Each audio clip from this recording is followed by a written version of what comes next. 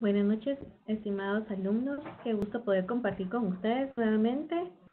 Vamos a iniciar nuestra tercera videoconferencia y conforme vayamos avanzando voy a requerir de su activa participación en cuanto a alguna actividad que vamos a hacer más adelante.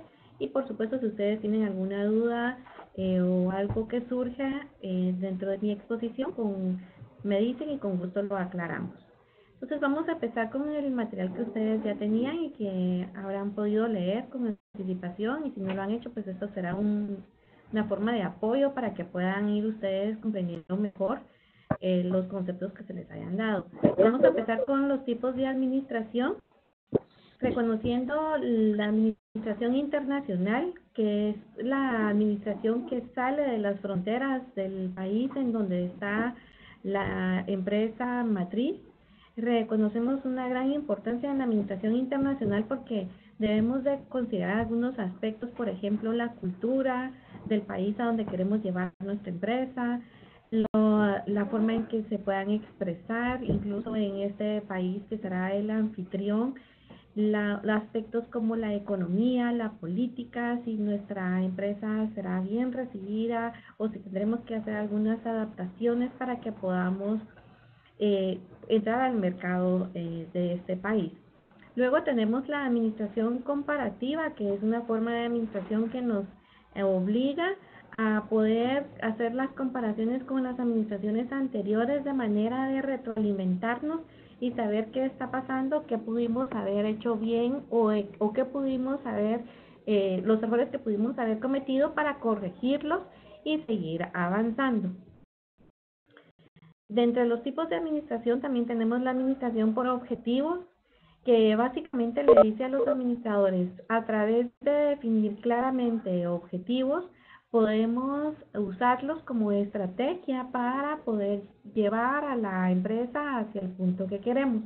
Y por eso es que en la actividad que ustedes eh, realizaron, hicieron una investigación acerca del FODA, eh, porque el FODA es el primer paso que vamos a, realizar para poder plantearnos una meta clara y específica y luego teniendo esta planificación poder decir queremos alcanzar esta meta y objetivo como es la administración por objetivos eh, y a partir de eso trazar una estrategia que la estrategia nos va a dar el camino a seguir o las herramientas de cómo eh, hacerlo. La administración de la tecnología, que actualmente está tan eh, reconocido y siendo una herramienta sumamente importante dentro de la administración, la, debemos de procurar estar al tanto de la tecnología, de estarnos actualizando y de estar aplicando la tecnología a cada uno de los procesos que eh, podamos aplicarlo dentro de la empresa reconociendo que la tecnología es una herramienta importante para poder aumentar la productividad de la empresa. Y recordémonos que ya en algunas ocasiones habíamos dicho que la productividad es la relación horas-hombre trabajadas. Entonces deberíamos de pensar la misma cantidad de materia prima, la misma cantidad de horas, pero mayor producción. Entonces la tecnología es una herramienta fundamental para esto. Luego tenemos la administración de la estrategia, que eh, tal y como dijimos anteriormente, la administración por objetivos, tomábamos un objetivo como estrategia para poder alcanzarlo. Luego la, la administración de la estrategia, entonces también ahora en lugar de tener un objetivo, vamos a tener una estrategia como tal, que es la que nos va a ayudar a guiarnos acerca de lo que queremos alcanzar o realizar como empresa. Eh, ustedes podrán leer en la diapositiva, dice que la estrategia representa aquello que la empresa desea realizar, cuál es el negocio que pretende llevar a cabo y cuál es el rumbo que va a seguir. Luego tenemos la administración de la producción y operaciones, que básicamente reconocemos la importancia de tener un apoyo en los gerentes de operaciones, quienes se encargarán de que todo se lleve a cabo tal y como ha sido planificado. Es por eso que eh, desde el inicio del curso en en la importancia de planificar en las empresas. Es decir, no es algo que se va a hacer de solamente una vez o que ya lo, como lo hicimos antes de echar a andar la empresa, nunca más vamos a volver a, a, planificar. conocemos que la planificación, siendo una de las funciones básicas del administrador, debe de realizarse de forma repetitiva. Luego, en la administración de la calidad total o por las siglas en inglés como TQM, que no necesariamente es como los jóvenes ahora cuando están chateando y ponen TQM y significa te quiero mucho o algo por el estilo. El, en, eh, en, conceptos administrativos, TQM hace alusión a la administración de la calidad total. También reconocemos que la calidad total es eh, un sistema que se lleva a cabo de forma repetitiva, que es un modelo europeo de administración y que se basa en la premisa de la satisfacción del cliente. Cuando hablamos de la satisfacción del cliente es la satisfacción total.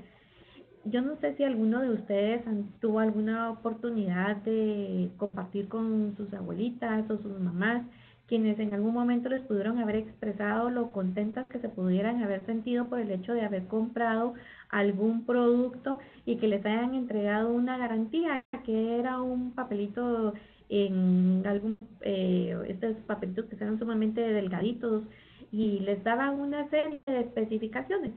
Y las mamás se sentían muy contentas por el hecho de decir, es que compré un producto y tiene garantía. Eso era la novedad y eso era para ellos muy valioso. Sin embargo, hoy en día eh, ustedes eh, sabrán que compramos un producto y no necesariamente nos damos una garantía escrita o que tengamos que firmar de que estamos recibiendo esta garantía. Entonces, el punto es que damos por hecho la calidad total del producto que estamos recibiendo. Por tanto, ya no es necesario el recibir eh, tantas instrucciones. Como consumidores nos hemos vuelto muy exigentes y asumimos que si estamos adquiriendo un producto, este va a cumplir con una satisfacción total. De hecho, algunas empresas en el país, cumpliendo la administración de la calidad total, están dispuestos a retribuir eh, si el cliente no se siente satisfecho con el producto o el servicio, de retribuir lo que el cliente pudo haber pagado. Hay algunas empresas en el país también que eh, es tanta la importancia que tiene para ellos la calidad total que eh, van a, están dispuestos a devolver el producto o a devolver el efectivo aunque haya pasado un mes después de la compra. De la administración en otros países hace alusión a la administración internacional y podemos conocer en esto la importancia que hemos, en la que hemos enfatizado de que como administradores tenemos que estarnos capacitando constantemente, estar, eh, ser proactivos, buscar información acerca de qué es lo que está pasando en otros países.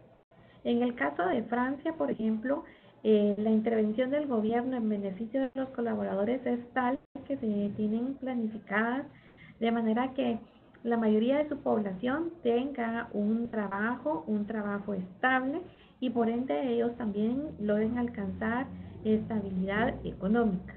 Por otro lado, podemos reconocer eh, en Alemania el autoritarismo que puede haber de parte de los administradores eh, y que sabemos que también parte de la cultura de ellos es eh, ser como muy objetivos en la forma de hablar y de dirigirse hacia las demás personas, lo que para nuestra cultura podría ser un poquito agresivo. Sin embargo, eh, nuevamente reconociendo que como administradores debemos de aprender y de conocer las otras culturas, pues esto debería de ser algo normal, no debería de afectarnos.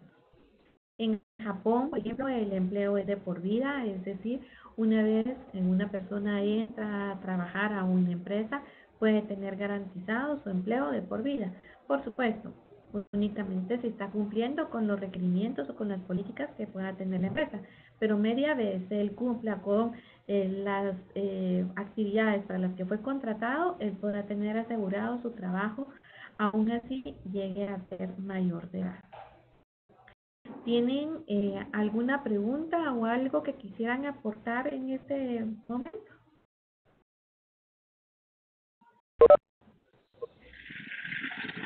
Todo claro, licenciado. Muchas gracias. Muy bien.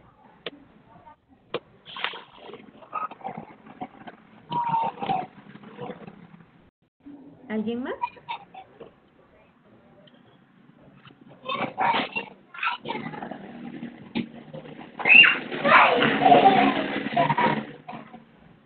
Vamos a seguir con el tema de la creatividad.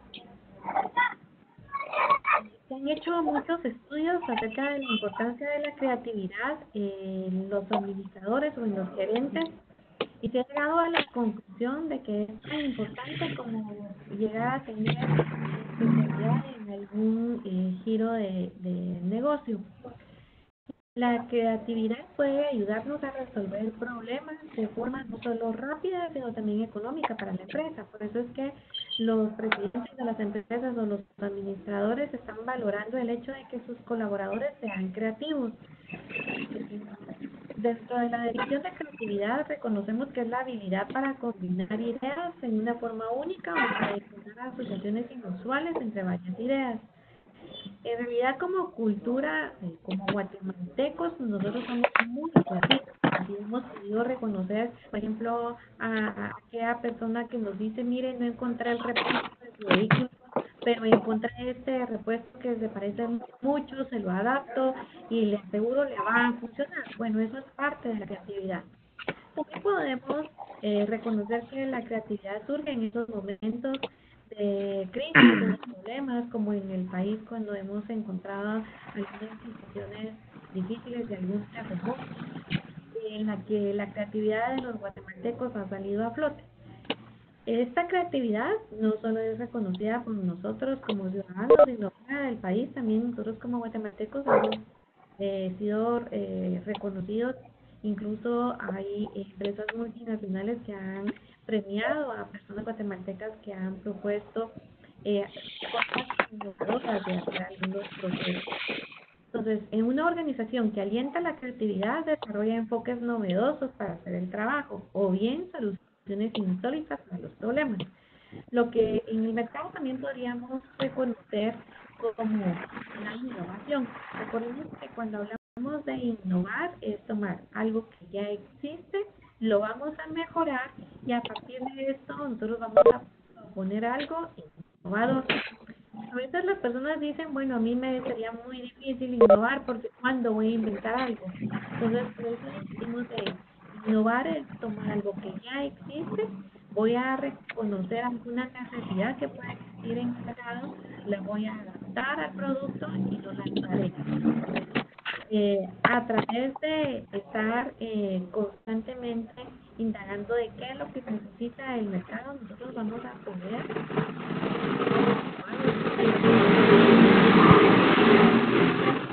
implica saber combinarnos con lo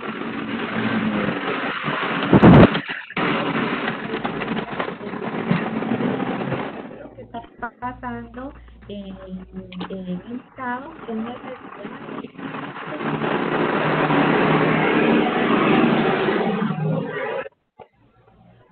Luego, dentro de la creatividad, eh, vamos a encontrarnos con algunas barreras, como por ejemplo el miedo al cambio.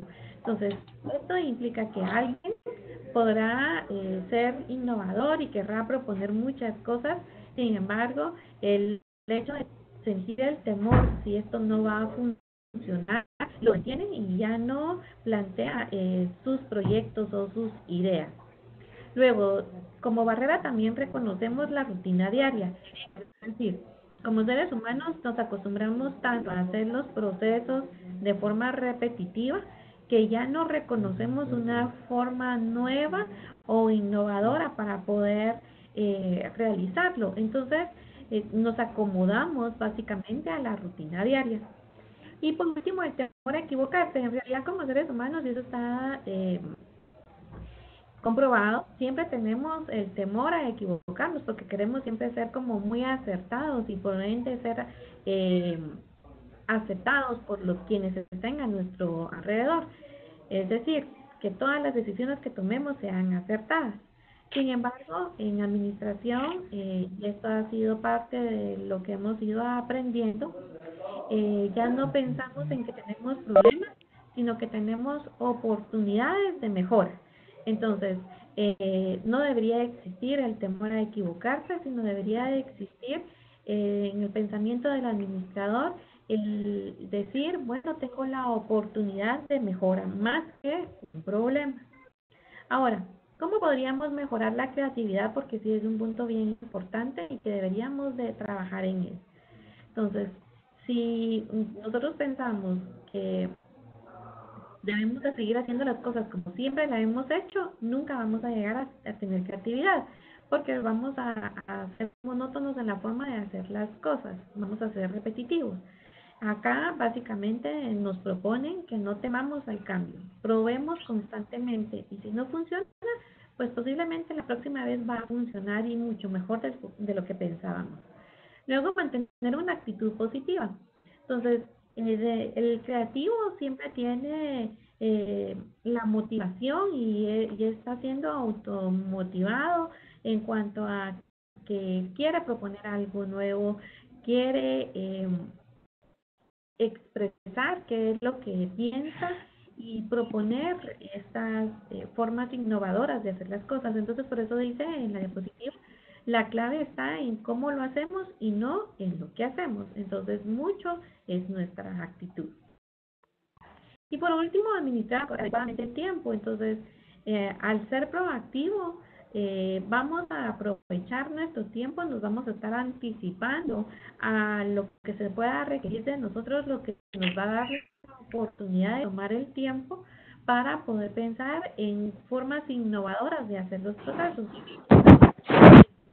administración existe el tema del término el gerente para juegos, que básicamente dice que es el gerente que está solo resolviendo problemas constantemente y nunca tiene entonces el tiempo de sentarse a planificar, a eh, diseñar estrategias, a seguir.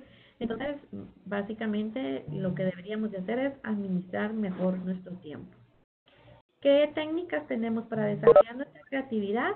Pues tenemos mapas mentales, que básicamente a través de los mapas mentales nosotros vamos a explorar el problema y vamos a partir de esta del problema sacar muchas ideas o, la generación de ideas de cómo resolverlo. Tenemos la lluvia de ideas, la base de la lluvia de ideas es que todos los que estén participando en la lluvia de ideas propongan sin pensar si van a ser juzgados o no por sus compañeros, sino únicamente hacer una serie de propuestas que al final se van a volver en algunas alternativas. Vamos a ir delimitando las alternativas hasta llegarnos a quedar con lo que nosotros vamos a escoger o que al final va a ser la forma en que vamos a resolver nuestro problema. Tenemos también los grupos de trabajo que pensar en un eh, grupo de trabajo que ha sido bien acoplado se va a convertir eh, a corto tiempo en un equipo de trabajo. Entonces, cuando hablamos de grupo y equipo de trabajo hay una diferencia. El grupo de trabajo son personas que se van a reunir únicamente para resolver eh, algo o para hacer una actividad en particular, pero no tienen claramente definida un, una meta o un objetivo y los lineamientos a seguir. Solo que saben que están reunidos por algo. Entonces, por eso es que reconocemos el, grupo de em, jóvenes que se van a ir a una excursión y han planificado algo, no, porque al final son amigos y en el camino van a ver cómo resuelven las situaciones que se les puedan plantear. Ahora, cuando hablamos de un equipo, entonces en el equipo tenemos roles claramente definidos, tenemos una meta, un objetivo, incluso podríamos pensar en que tenemos actividades asignadas y para cada actividad un tiempo, lo que nos va a permitir eh, incorporarnos y entonces ya como equipo vamos a alcanzar las metas y los objetivos. Luego, eh, otra técnica de creatividad es el análisis morfológico, que es muy parecido a los mapas mentales, en los que vamos a tener como base nuestro problema y empezar a descomponer alrededor de él a través de preguntas y de ir desarmando básicamente nuestro problema en pequeñas partes. Entonces, ahora sí, necesito de su participación, eh, que por favor, con toda la libertad del caso, ustedes propongan. Les voy a, leer eso y si ustedes pudieran acompañarme en la lectura para que ustedes puedan proponer sus respuestas. Vamos a hacer un llamado un poco a su creatividad. Entonces les leo, dice, un hombre vive en un edificio en el décimo piso. Todos los días toma el ascensor hasta la planta baja para ir a su trabajo. Vuelve, sin embargo, toma el ascensor hasta el séptimo piso y hace el resto del recorrido hasta el piso en el que vive, o sea, el décimo, por las escaleras. Si bien el hombre detesta caminar, ¿por qué lo hace? Me gustaría que me hicieran sus propuestas todos.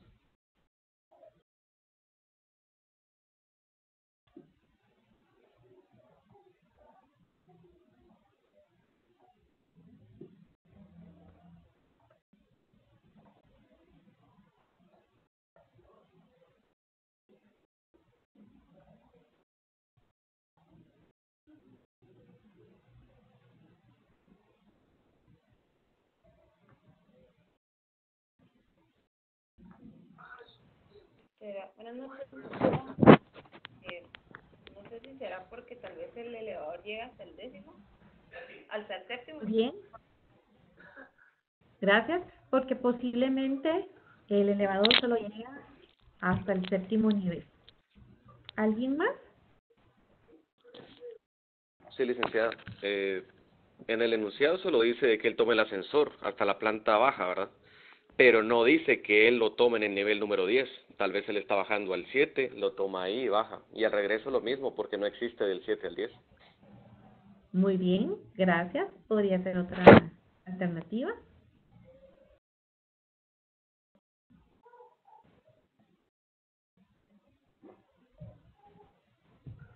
Eh, buenas noches. Aunque, tal vez él detesta caminar, eh, sabe que es necesario hacerlo. Muy bien, gracias. Buenas noches, licenciada.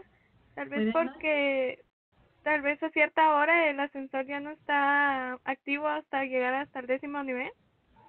Muy bien, podría ser otra alternativa que a partir de alguna hora ya el elevador ya no subiera hasta el décimo, únicamente hasta el séptimo. Gracias.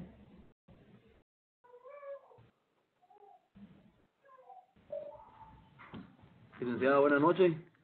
Este, se me ocurre que el, el, edificio únicamente tiene siete niveles y que solo, eh, cuando baja, por ejemplo, por decirlo así, baja desde el séptimo nivel hasta el, hasta el sótano y cuando regresa solamente soy al séptimo y camina tres niveles porque no hay tres niveles de, de elevador.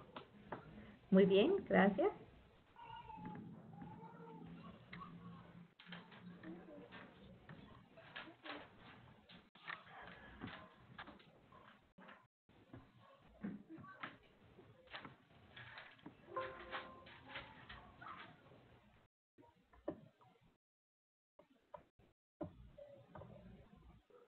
Bien, les voy a dar la respuesta al acertijo.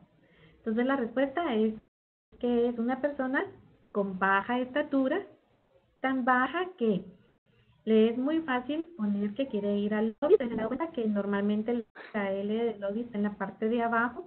Entonces cuando él sube al elevador estando en el décimo nivel, puede apachar fácilmente el botón de L y llegará al lobby. Luego cuando viene de vuelta a casa, se sube el elevador, pero el número 10 está tan alto que no alcanza. Entonces alcanza únicamente hasta el 7 y es ahí en donde, o por eso es que es la razón de que se baja en el séptimo nivel y tendrá que subir el resto por las gradas. ¿Vieron cómo la creatividad de cada uno de ustedes se vio manifestada? Ninguno estaba equivocado. Todos hicieron un importante eh, aporte. Vamos a seguir desarrollando esto de la creatividad y ahora sea como más rápida la forma en la que participe. Entonces, miren este acertijo. Dice, esta mañana se me cayó un pendiente en el café. Y aunque la taza estaba llena, el pendiente no se mojó. ¿Por qué sería eso? Porque el pendiente quedó colgado en la orilla de la taza. Muy bien. Justo se quedó en la orilla de la taza. Para mí, para mí no se mojó porque La taza tenía café en grano. Ah, muy bien. David, no, muy rápido. Pero quisiera escuchar las demás propuestas. Sí, perdón, es- eso le iba a decir yo también que el, la taza estaba con- llena de café, pero no era líquido, digamos. Sí. Entonces, miren que están súper pilas ustedes como alumnos. En efecto, la taza estaba llena, pero llena de café que estaba en granos y entonces por eso es que el pendiente no se mojó. Gracias por su participación. Vamos a hacer algunos más. Veamos. Entonces, ¿tienen 15 de septiembre en Inglaterra? ¿Ustedes creen? Sí, tienen 15. Sí, tienen 15. ¿Todos Sí, tienen. Sí, Tienen, pero aquí se celebra O sea, la independencia, ya no. sí. To Ajá, todos tenemos las mismas fechas del año. En efecto, aquí en Guatemala, en Inglaterra, todos tenemos 15 de septiembre. Luego, ¿cuántos cumpleaños tuvo una persona que vivió 50 años? 50. 50 cumpleaños.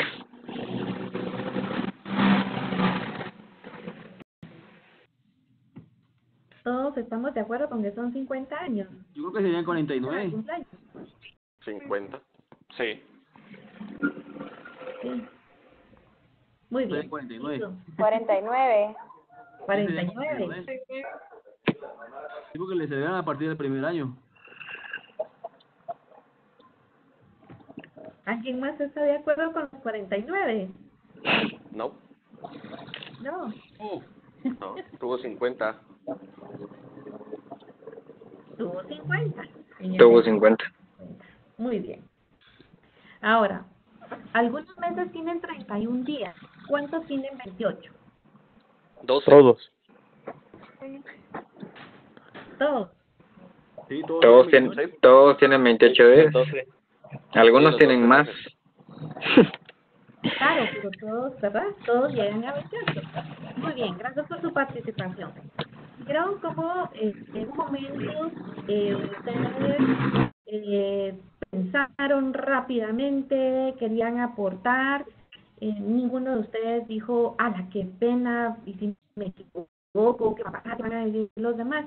Y de eso precisamente es de lo que se trata, de que ustedes logren reconocer y despertar ese chip de la creatividad, de animarse a proponer. Es a través de esto que ustedes van a tener un impacto positivo en sus lugares de trabajo y en donde quiera que se desenvuelvan. Recuérdense que mucho del liderazgo es que los que están alrededor logran eh, darse cuenta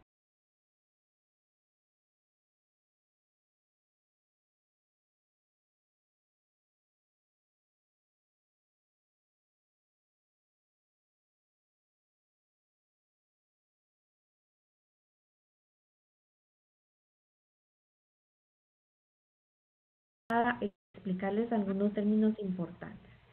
Entonces, eh, el análisis FODA, ¿de dónde surge el FODA? Pues son las siglas de fortalezas, oportunidades, debilidades y amenazas.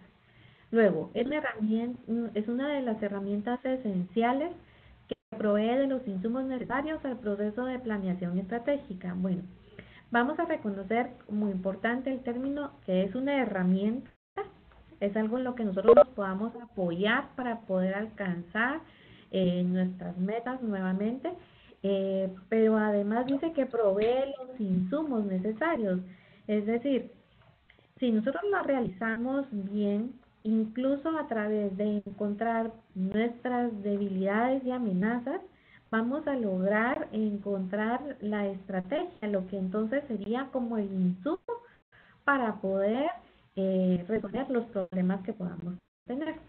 Y la planeación estratégica básicamente es a través de lograr establecer una estrategia yo voy a lograr alcanzar lo que he planificado con anticipación. Eh, dice proporcionando la información necesaria para la implantación de acciones y medidas correctivas y la generación de nuevos o mejores proyectos de mejora. Puedo decirles en lo particular que me he encontrado con algunos gerentes de algunas empresas y está bien, eh, ellos dicen, bueno, yo amo a la empresa, mi empresa es lo máximo, aquí estamos bien, todos mis colaboradores hacen lo que les corresponde. Entonces, como, ¿por qué yo hacer un FODA si estamos bien?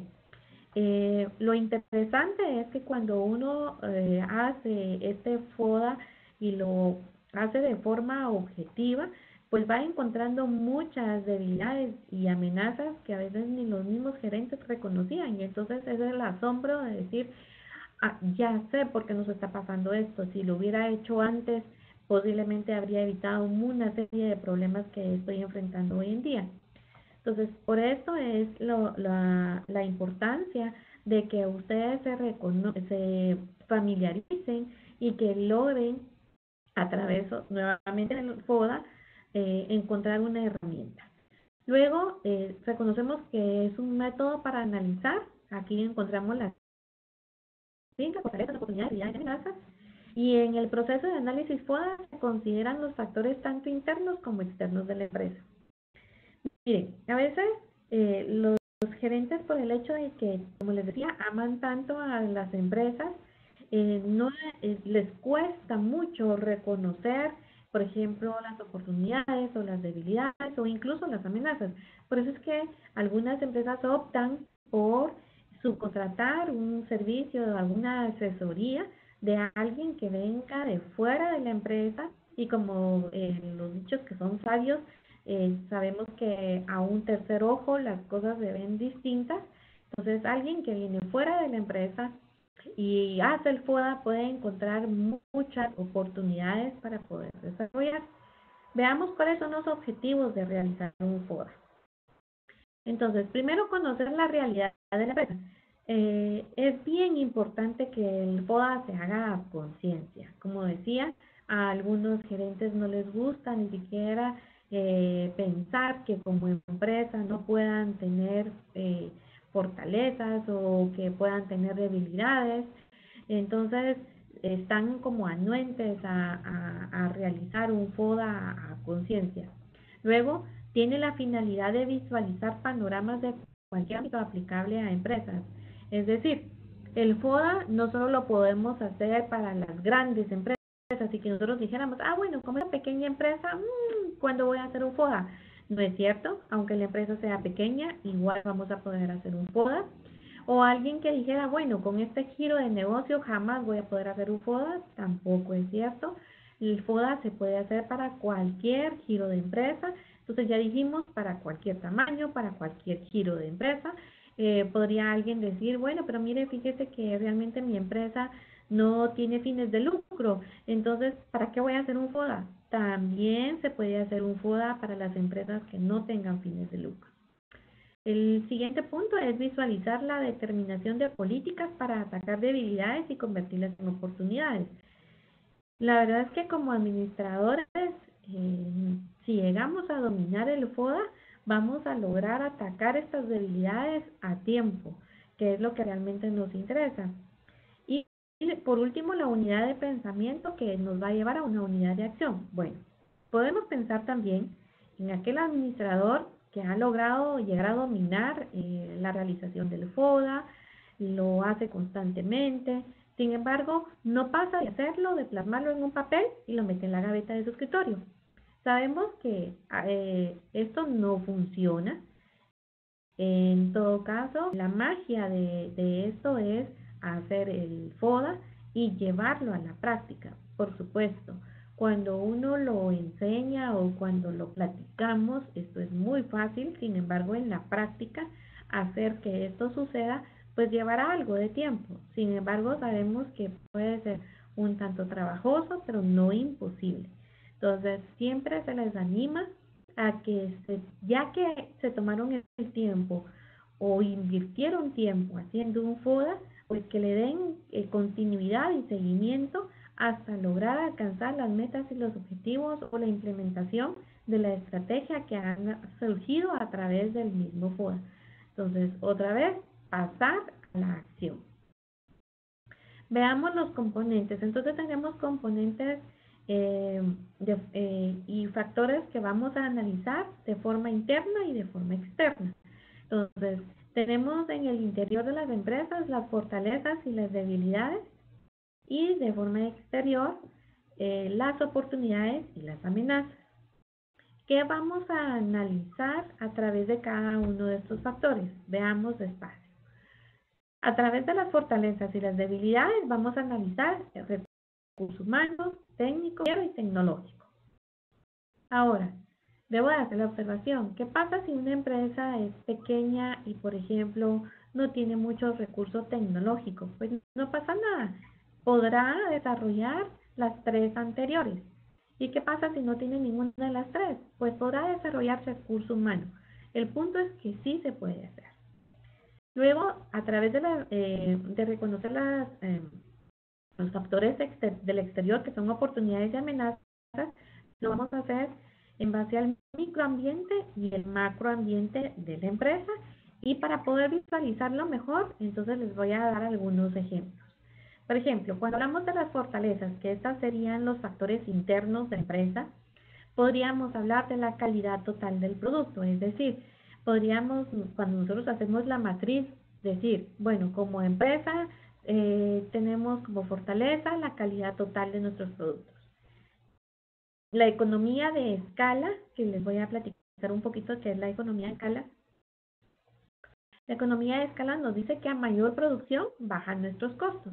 Entonces, como el mejor ejemplo que tenemos es las pistas 2 por 1 en donde sabemos que como las empresas van a vender grandes cantidades, están dispuestos a mantener un mismo precio y darnos dos productos con el mismo eh, con el precio que se mantiene por uno solo. Entonces, el que las empresas logren dominar eh, de poder tener eh, economías a escala, producir más y vender más, les va a significar por ende mayor rentabilidad y les va a mantener eh, con cierta estabilidad en el mercado. Luego tenemos los recursos humanos bien capacitados. Para algunos gerentes, pensar en capacitar a sus colaboradores es un tema eh, del que están un poco o que no quieren capacitar a sus colaboradores. Sin embargo, reconocemos como administradores la importancia de un DNC que debería ser el primer paso ¿Y qué es un DNC? Es la detección de necesidades de capacitación. Es decir, vamos a capacitar a los colaboradores en estas áreas en las que podamos reconocer que puedan tener oportunidades. Eh, no simplemente capacitarlos por el hecho de mantenerlos ocupados en algunos cursos que ni siquiera ayudan a que sean más productivos. ¿Qué otra fortaleza? Tenemos la innovación en tecnología. Y por eso es que eh, hablábamos de la creatividad, porque sabemos que la base para poder llegar a la innovación es desarrollar la creatividad.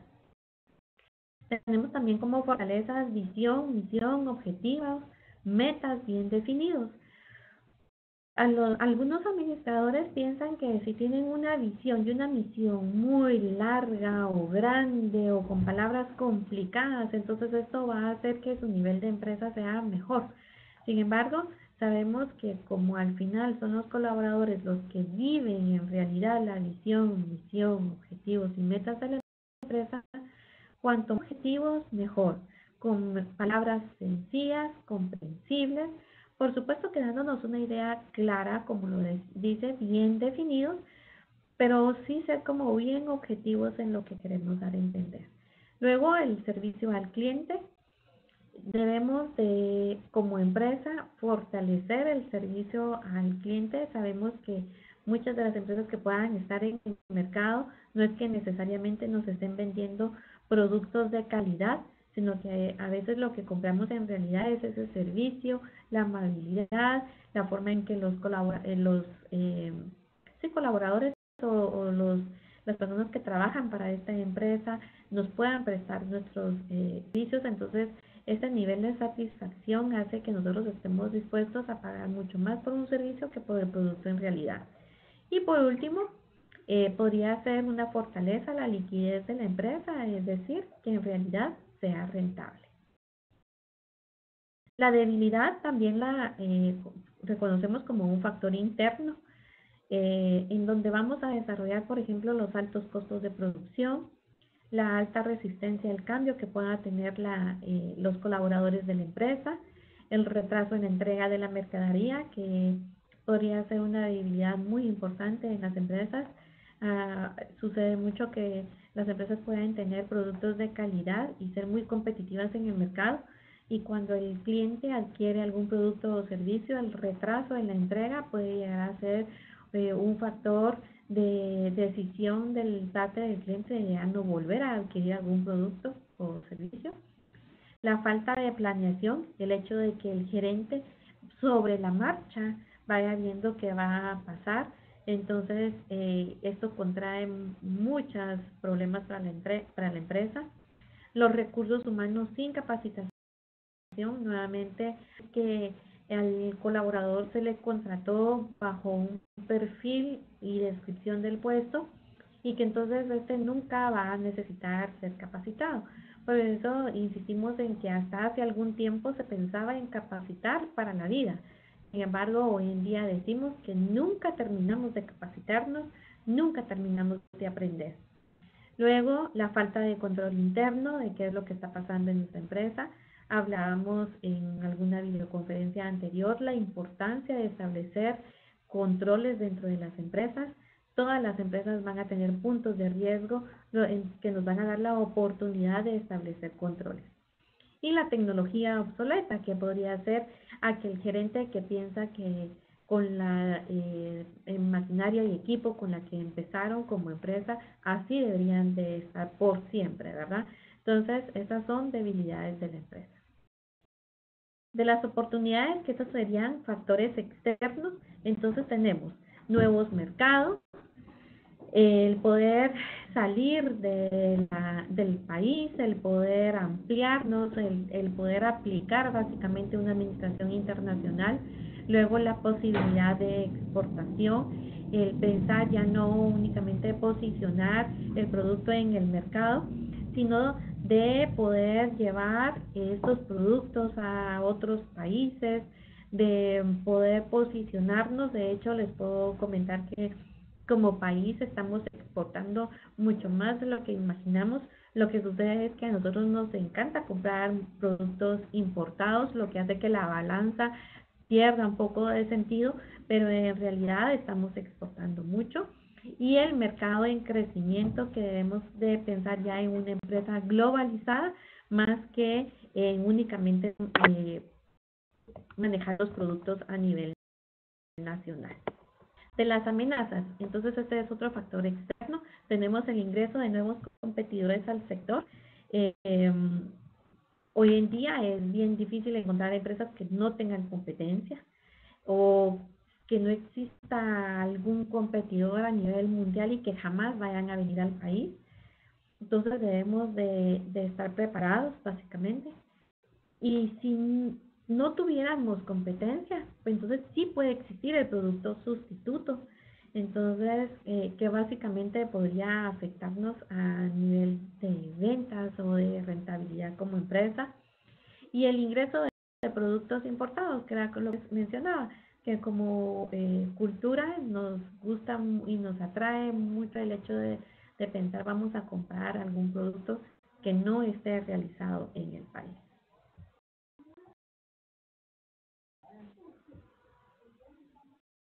Y ya casi para terminar nuestra videoconferencia, entonces tenemos eh, la matriz de cómo debería de quedar nuestra, eh, nuestro FODA a través de elaborar el diagnóstico. Eh, vamos a poner las fortalezas y lo óptimo es que las enumeremos, que por lo menos desarrollemos tres de cada uno, es decir, tres fortalezas, tres debilidades, tres oportunidades, tres amenazas. Esto nos va a dar la oportunidad de poder llegar a hacer la matriz FODA, pero ya estableciendo estrategias. Entonces acá, si ustedes se podrán dar cuenta, el, eh, la matriz se amplía y da oportunidad al desarrollo de, por ejemplo, la combinación maxi-maxi a través de combinar fortalezas para eh, la estrategia para maximizar las fortalezas y contrarrestar las, eh, perdón, Es la estrategia para maximizar las fortalezas y desarrollar las oportunidades. Luego tenemos en la estrategia 2, que sería mini-maxi, en donde tenemos la estrategia para minimizar debilidades y maximizar oportunidades. La estrategia FA, que sería eh, la maxi-mini, que es la estrategia para maximizar fortalezas, minimizar amenazas. Y último, DA o DA, que sería mini, que es la estrategia para minimizar debilidades y amenazas. Bien, con esto termino nuestra videoconferencia. Ustedes me pueden si tienen alguna duda, algo que quisieran aportar. Es bienvenido, por favor.